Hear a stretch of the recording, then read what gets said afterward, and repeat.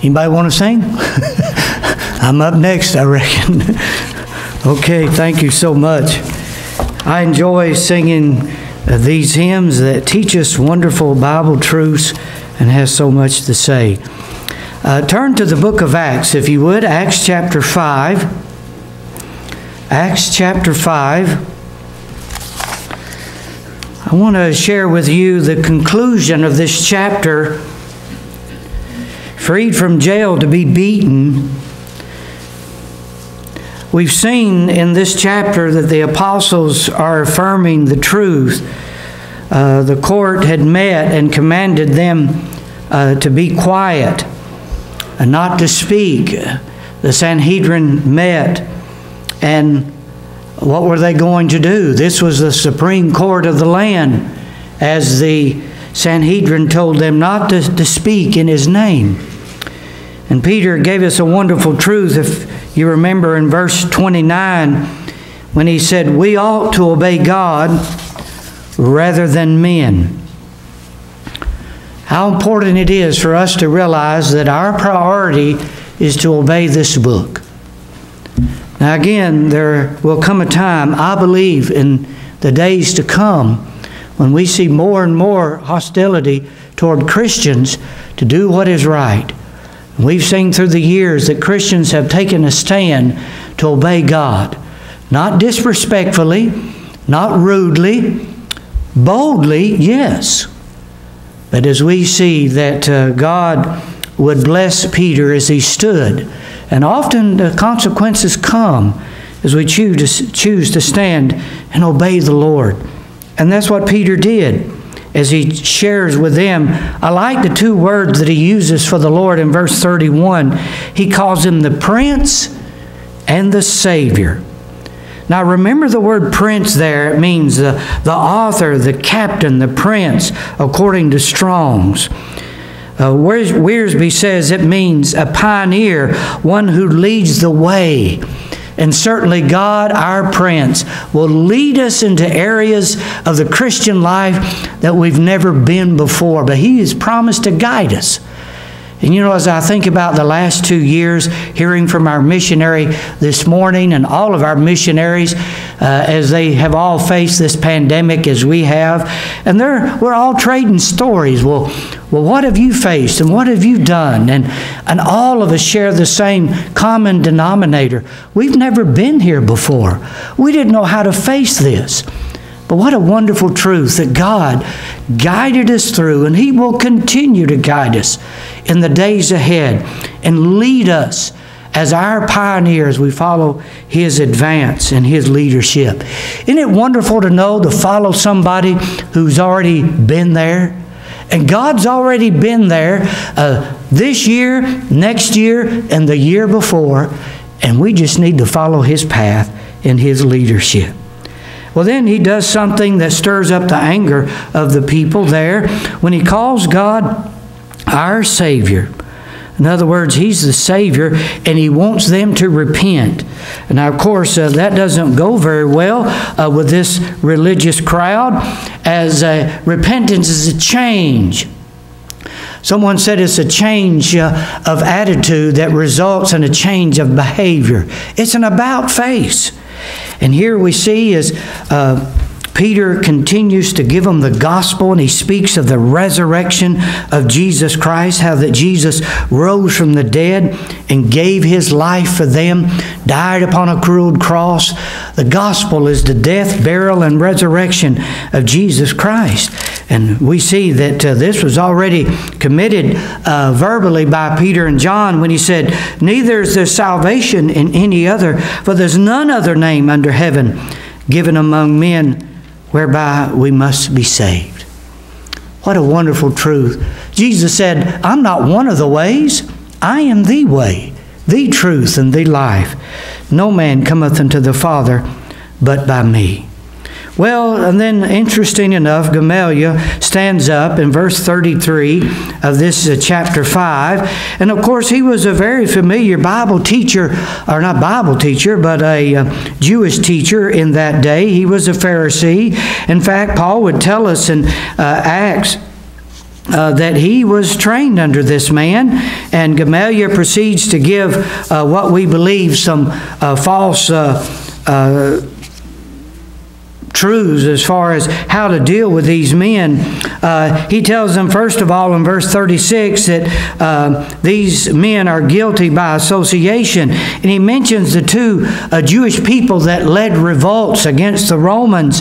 And uh, he said, well, these men, uh, it's going to come to naught, uh, just like these other two men, that he more or less tells them that they're, they're just like all these others. When in reality, we know that uh, they are not like these other men. Jesus died upon the cross once, and there's no way uh, that uh, these men were speaking of a resurrected Savior. There's no way that these men were speaking of, as Peter said, we, we've seen Jesus, we, we witnessed uh, uh his resurrection. Uh, so then he tries to say history repeats itself in verse 38.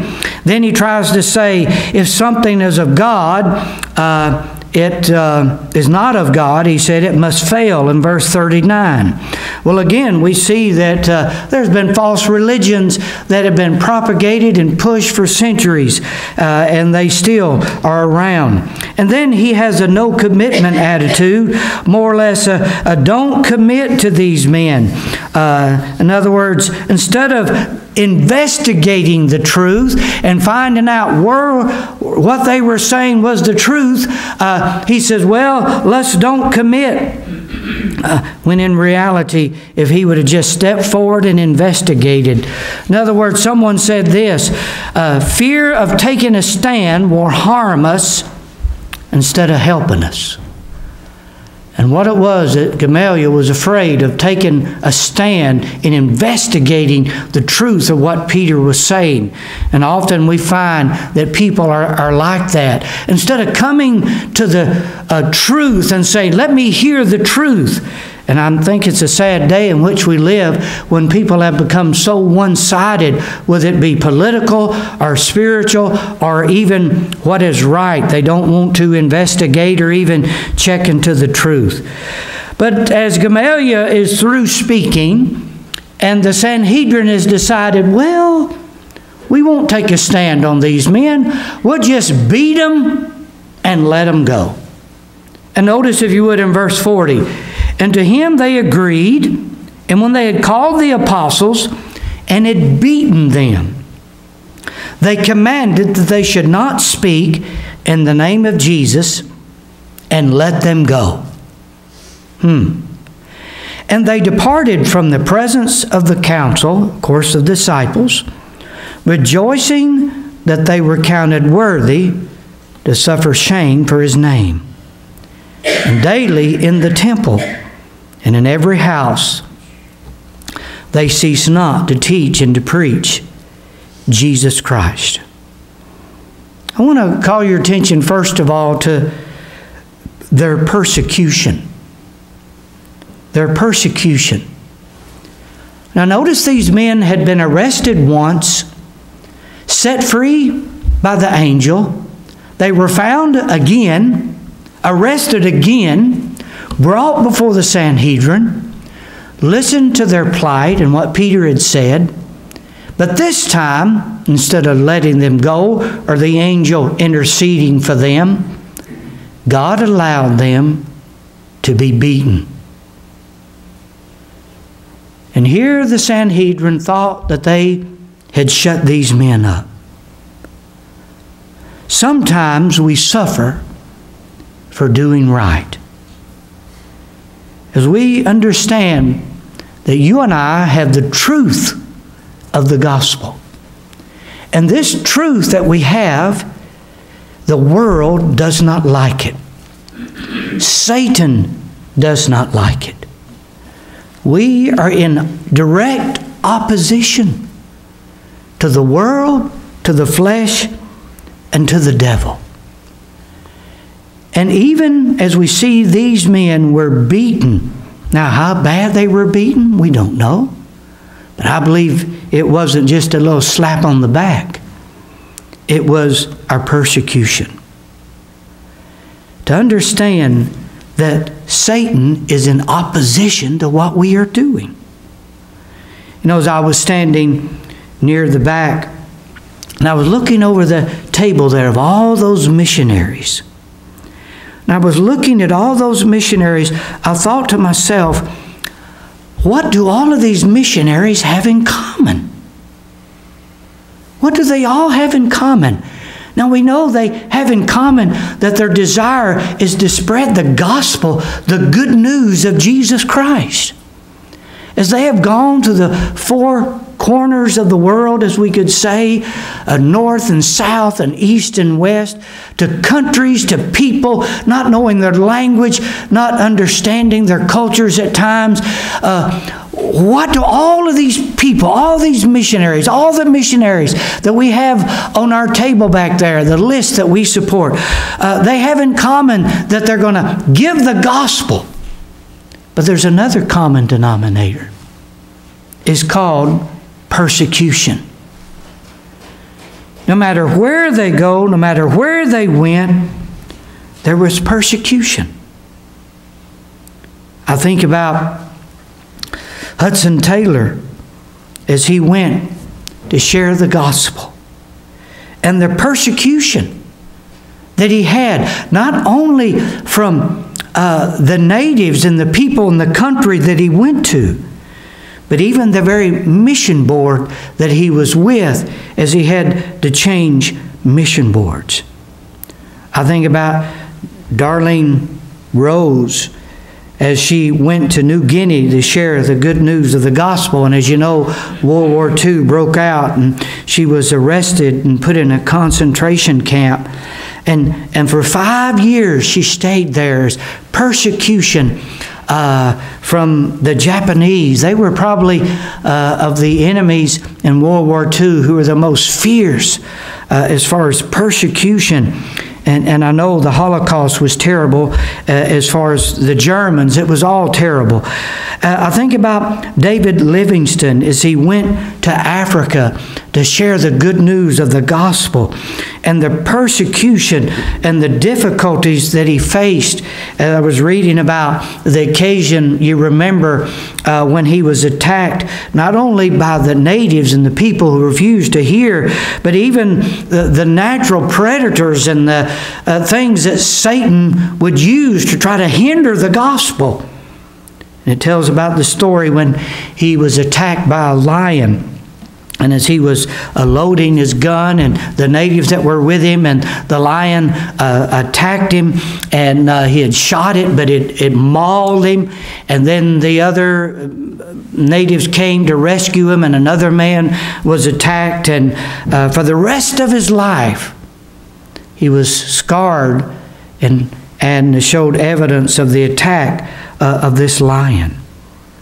Again, I think about Adoniram Judson as he went to Burma to share the good news of the gospel, how that he was arrested and thrown in prison, and there and from prison, and his wife came to visit with him to plead his case, and how his body was uh, dwindling down because of the difficult things that uh, he was facing there in that prison.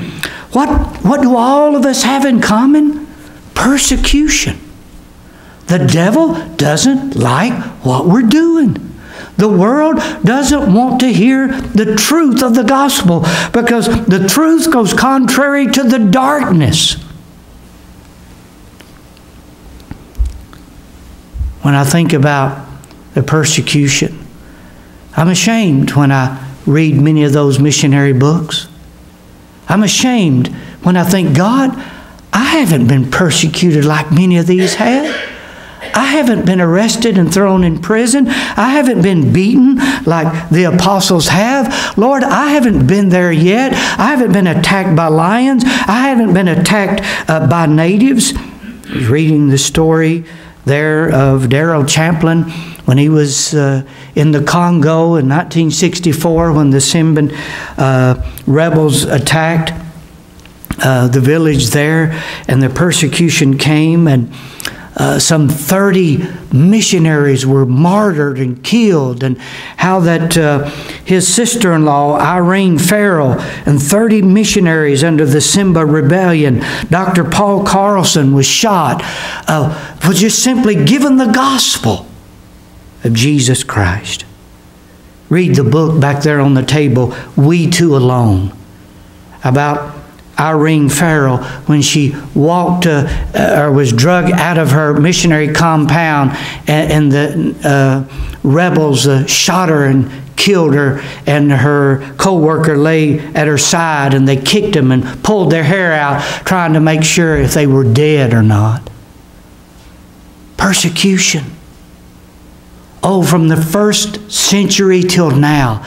And could I say to the church, I wonder how bad persecution's going to get before the Lord comes. I'm premillennial, pre tribulational. I believe God is going to rapture His church before the tribulation. But I often ask myself, how hostile is the world going to get toward Christianity? Isn't it interesting in the tribulation when the most persecuted time in the history of mankind is going to take place and the Holocaust is going to seem like nothing compared to the persecution that's going to come to believers. And what is strange is when you read the book of Revelation, there's going to be scores of people that come to Christ and come to God more under persecution. I don't know. William Temple said this Christians are called to the hardest of all tasks to fight without hatred, to resist without bitterness, and in the end, if God grant it so, to triumph without vindictiveness. Their persecution. Oh, sometimes we think when people make fun of us, or people don't want to take our track or they laugh at us that we're really being persecuted for God. Somebody slams a door in our face or doesn't want to hear the gospel. Oh, we think that's persecution. But notice their praise. And they departed from the presence of the council rejoicing. Now remember, they just been beaten. Remember, they just been commanded. Now, don't go preaching about this Jesus anymore. They beat him. What would you would have done? Would you been praising the Lord? Rejoicing that they were counted worthy to suffer shame for his name. You see, I believe that still in the minds of these men, the suffering that our Savior went through because of his love for them. And I believe that this stuck in, in Peter's mind as he remembered the suffering of Christ. Listen to what Peter would say in his epistle The elders which are among you I exhort, who am also an elder and a witness of the sufferings of Christ. Now, again, Jesus' death, burial, and resurrection is the gospel. But along with that came the suffering. He was beaten, he was scourged, he was crucified. And Peter heard uh, the Lord when he said in the garden, Put up your sword. And he reached down and picked up the ear of the high priest's servant and put it back on. And you remember he told Peter that I could summon more than 12 legions of angels. But he didn't. And the writer of the gospel uh, of Hebrews tells us looking unto Jesus, the author, there's our word, and finisher of our faith, who for the joy that was set before him. What joy was that? Endured the cross, despising the shame. When we know what we're doing is pleasing to the Lord, that should bring us joy. Even if it means persecution, even if it means difficulties, even if it means people making fun of us and trying to hinder us and stop us, that Peter said, Oh, it's nothing compared to what God did in the flesh in His Son, Jesus Christ. He, he could have called 10,000 angels to destroy the world and set him free, but He didn't. It was God in the flesh. the joy that was set before him. You see, these men knew that as they were giving the gospel and obeying God, that they could be thankful that they were obeying the Lord. Be thankful. James would say, Count it all joy when you fall into divers or, or various kinds of temptations or trials, is what he's talking about. Knowing this, that the trying of your faith worketh patience. And let patience have her perfect work, that you may be perfect and entire, wanting nothing. You see, this kind of praise the world doesn't understand. Uh, the song that we sing, there's joy in serving Jesus. I wonder, could they sing that song now? We've been beaten. But what a joy. There's joy in serving Jesus. Hudson Taylor, as he went to the mission field to share the good news of the gospel, four of his children died before the age of 10 years of age. His wife fell sick and she died not long after the death of one of their giving birth to one of their other children.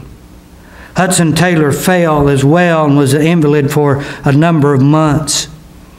In the Boxer Rebellion that took place there in China, over 50 missionaries were martyred for their faith. And Hudson Taylor's heart was heavy. But you know what? There was still joy in serving Jesus. Why? Why? Because Paul would sum it up to the Thessalonians in 1 Thessalonians chapter 5 and verse 18, and everything to give thanks. For this is the will of God in Christ Jesus concerning you. That you and I can have the praise that these fellows had.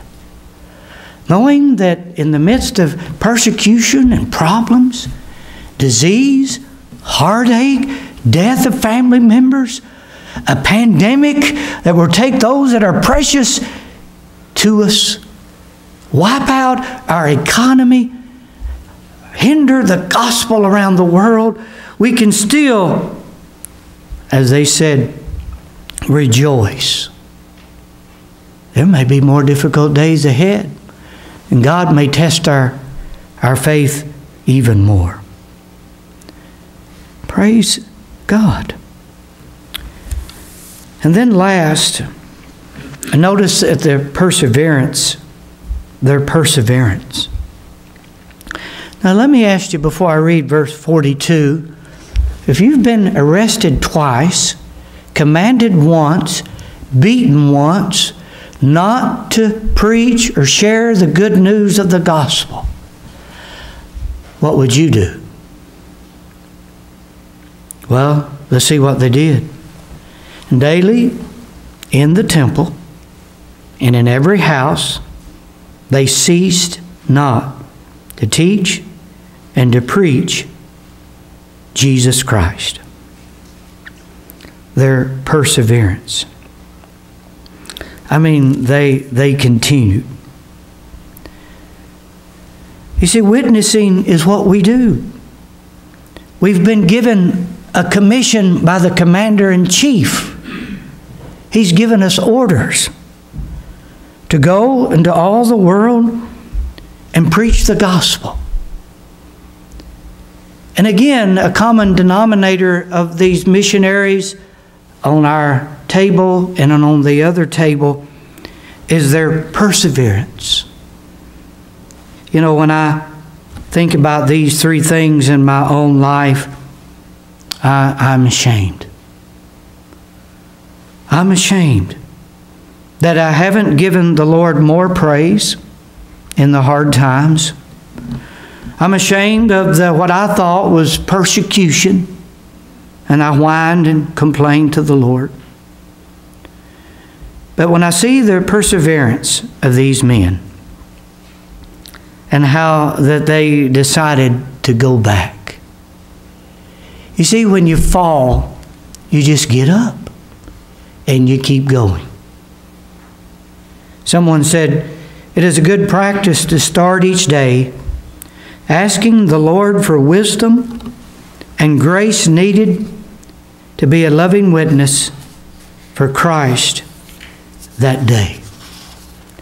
In other words, it, it means uh, persevering and, and being faithful and seeing it through what God has, has given you to do. And as I think about what God has called us to do and what God has called you to do, again, there's one missionary that stands out to me on that table that was a missionary that persevered was Adoniram Judson.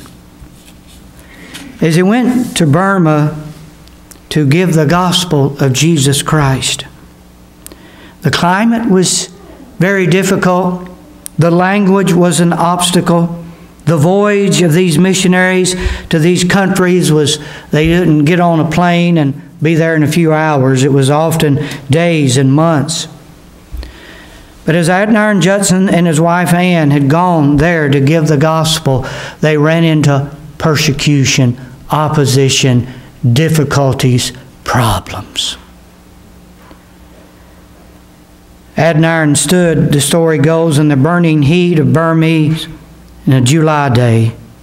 It says, staring back at the great temple that overshadowed the entire city. He did not guess the terribleness of the discouragement that waited for him in the muddy streets of Rangoon. He would work 15 hours a day for six full years before he would win a single convert to Jesus Christ.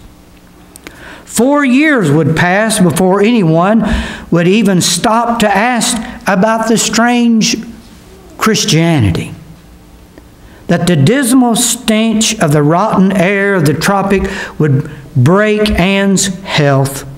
He would know physical pain as he never had known it before. His second child would die. The first one, Georgiana, was born dead. In all the six years, most Andover graduates of his class were building up tidy little New England congregations and rearing their families in cool, healthy New England air.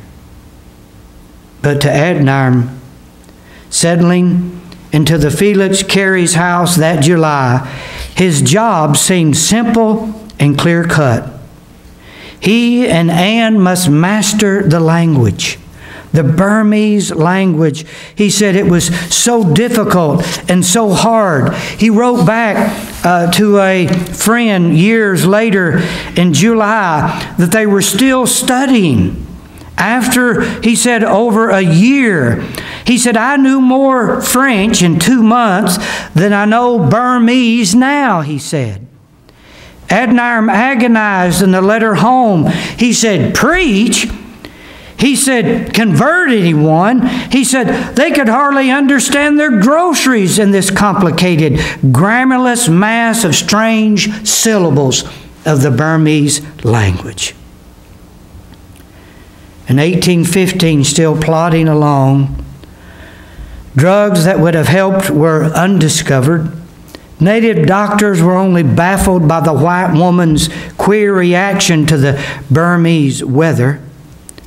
He said for a few months life seemed easier.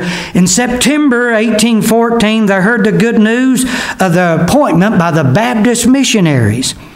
And later that month, little Roger Williams Judson was born. A healthy boy who cried a lot and laughed a lot. And then gradually, as his parents watched helplessly, lost strength to laugh and to cry. The Burmese climate slowly destroyed him. When Roger was eight months old, he died. They buried him in a little grove of mango trees in the mission garden. For years, he and Ann struggled in Burma, but they were persistent. They persevered. Then, in the first week of May, some six years later, a man walked into their village. His name was Maung Na, the first convert. He had been in Burma for over six years. Maung Na was a lumber merchant who worked at the general store labor. He had no family, no money, and no education. But Adoniram Judson says it seems almost too much to believe that God has begun to manifest His grace to the Burmas. Here's what he wrote in his diary Praise and glory be to His name forevermore. On June the 27th, 1819, he baptized Maung Na. Adoniram preached with fiercer zest. Another Burma accepted Christ, and then another one, and then another one. But it was through hard times, perseverance, persecution. And yes, he continues to give praise to God. Would you bow with me in prayer? Does us good sometimes to read the life of missionaries and others that have gone through so much when we go through so little. And I pray that God would speak to your heart as He did to mine about the persecution and our lives, about the praise that we should be giving to the Lord, and about just being persevering through hard times. Lord, thank you for the good news of the gospel.